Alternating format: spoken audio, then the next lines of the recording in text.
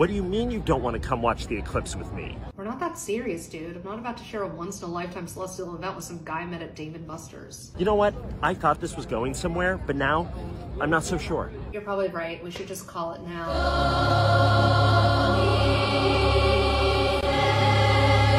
Golly gee. Is it just me or are we having like a radical shift in consciousness? Okay, I'm glad you say that because I was kind of thinking the same thing, but I didn't want to say it unless you said it first. The earth is too small and, and life is too short.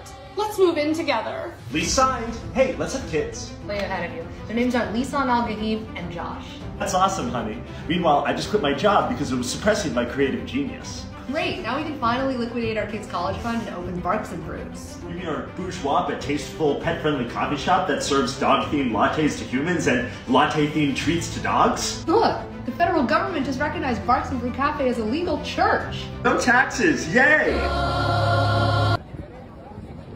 Wow, that was like a crazy eclipse-induced fever dream. Just a dream, Andrew? It was no dream to me. Oh, you mean you want to get together?